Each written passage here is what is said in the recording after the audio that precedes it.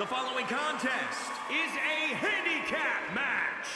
Making her way to the ring, representing the Syndicate from Boston, Massachusetts, Loco Griffin.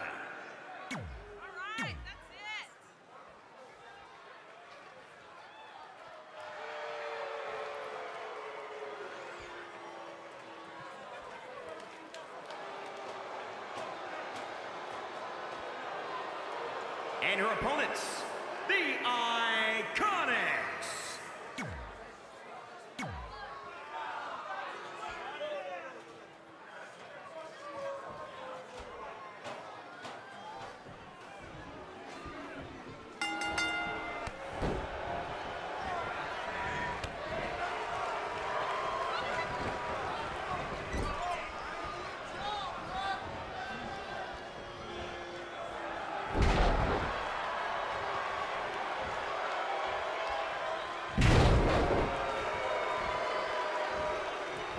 IIconics.